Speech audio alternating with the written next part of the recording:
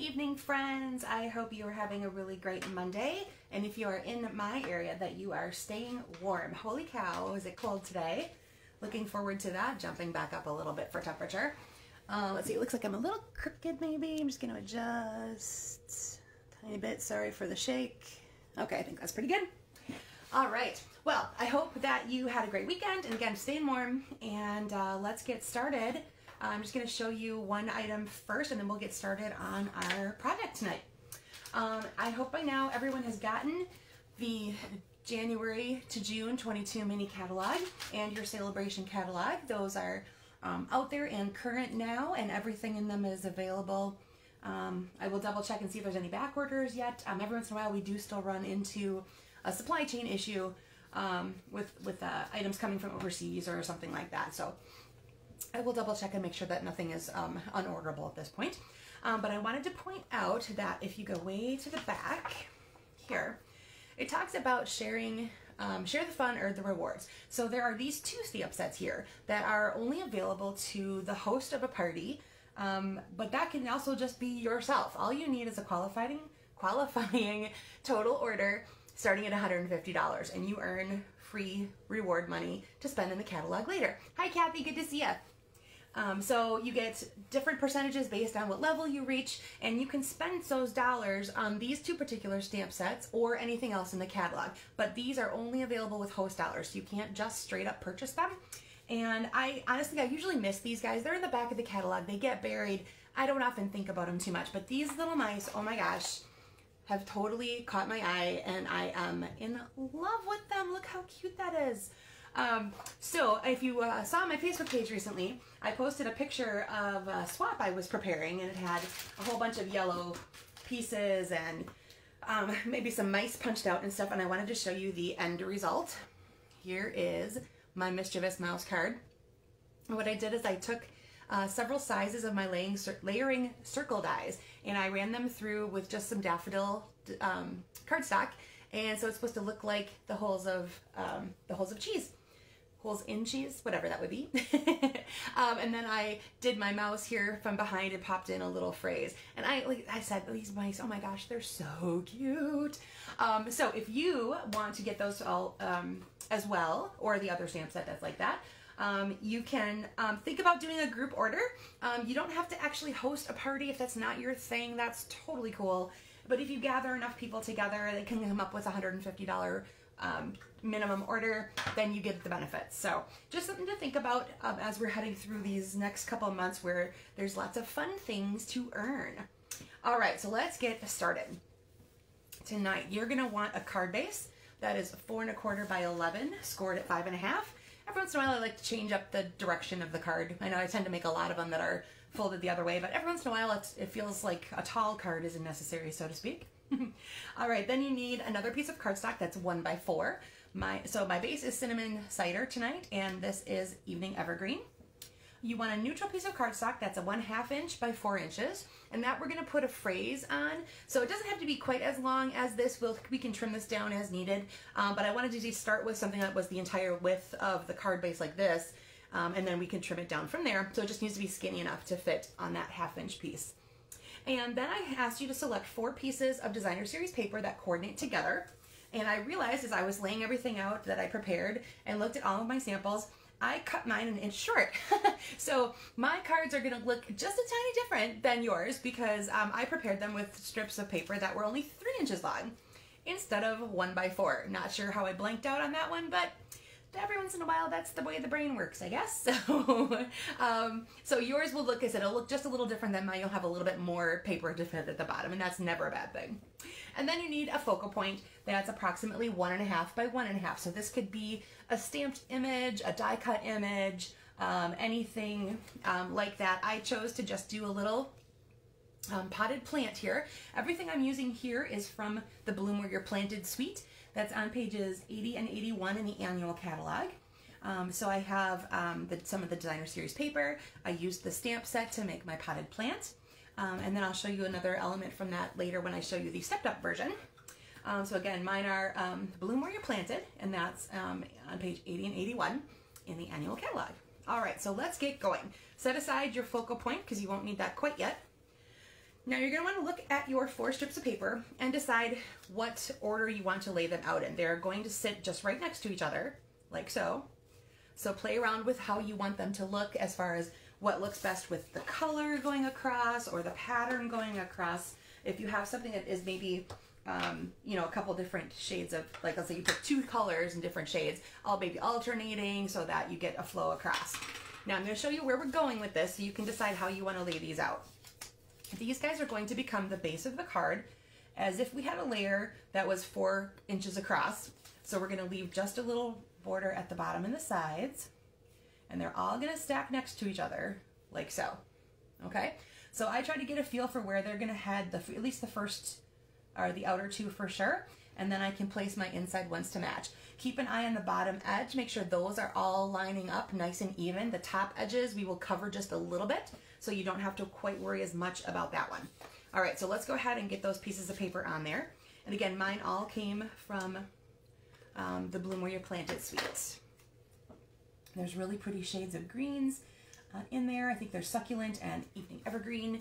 Um, and then there's the, um, the cinnamon cider, which I think is a, just a lovely color. And I'm so disappointed it's going to be leaving because it's one of our in colors that'll be retiring at the end of this catalog season. All right, so remember, keep those bottom edges lining up really nicely. And I just worked left to right on my piece, or yeah, right to left, sorry. Um, and you can do that however you like. If you want to start in the middle, work out. Like I said, you basically just want to end up with a even border around, and we'll see how, did, how well I did.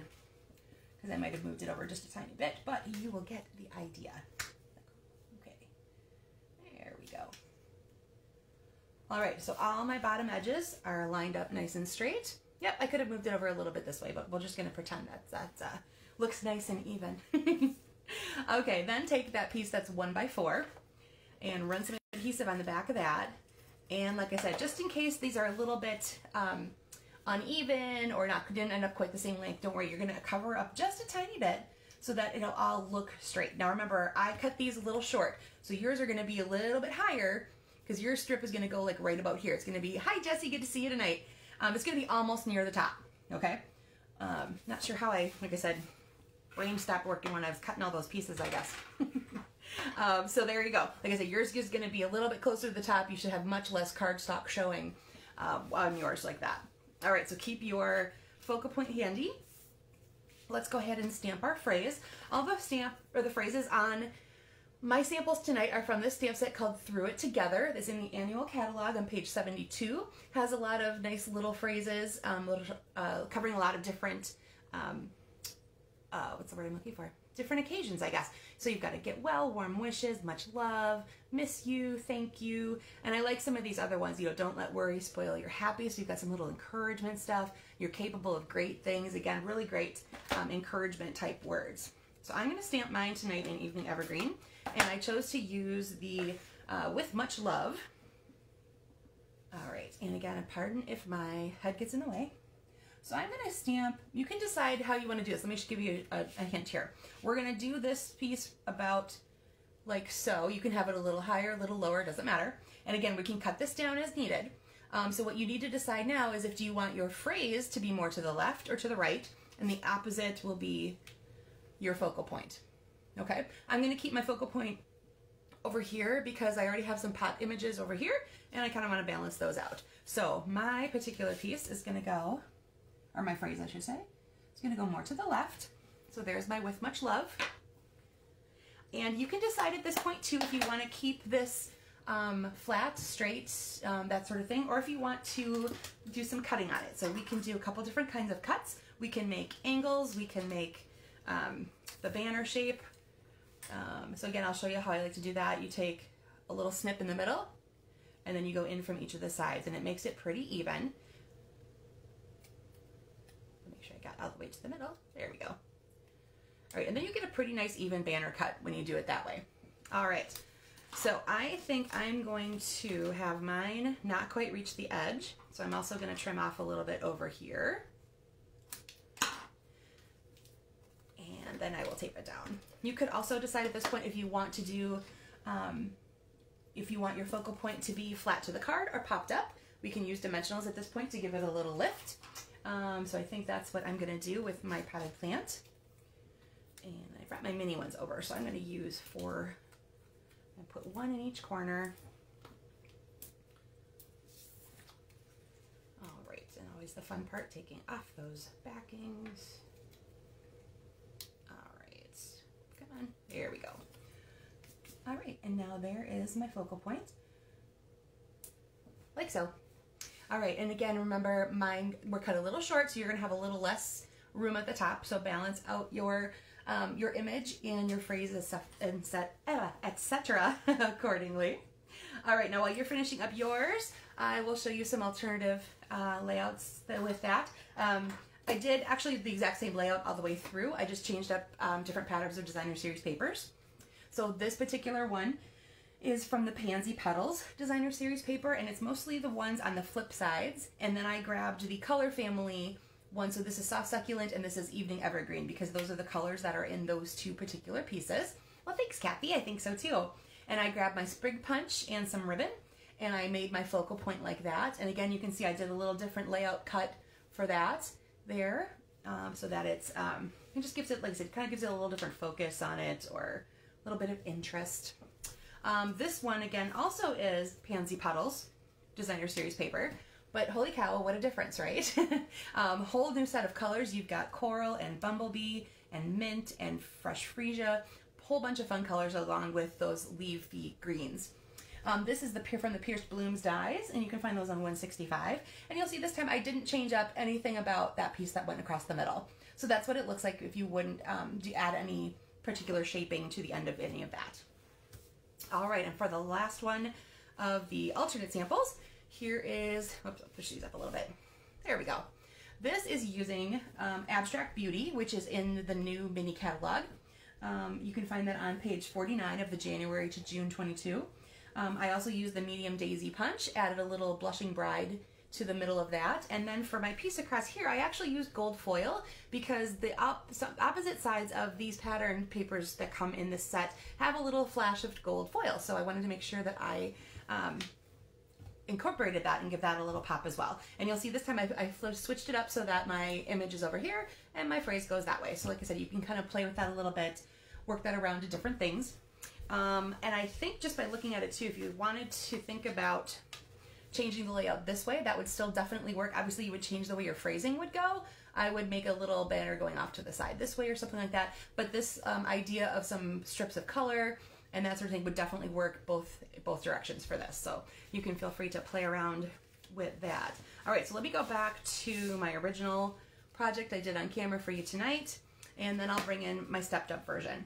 So there's not a whole lot of difference here, except that um, I did, I stepped up this part right here. You can see I stamped and die cut my potted plant area, and then I added a background um, piece from the um, Hippo and Friends dies. Those are on page 163.